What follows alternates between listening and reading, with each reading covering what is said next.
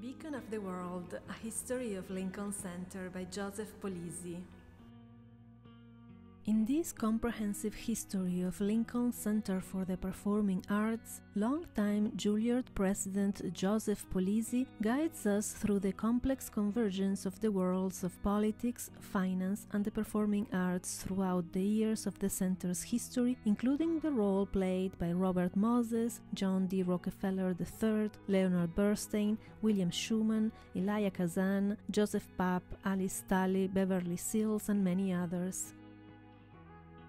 Polisi's book explores the social and political environment during the center's history, reflecting the growth and evolution of the performing arts in America from its post World War II roots to the present day of global interaction.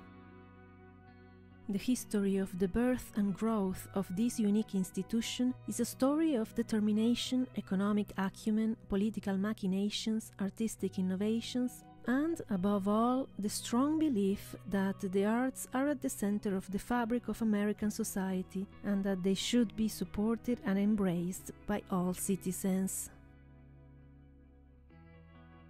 Ask for the book at your local bookstore.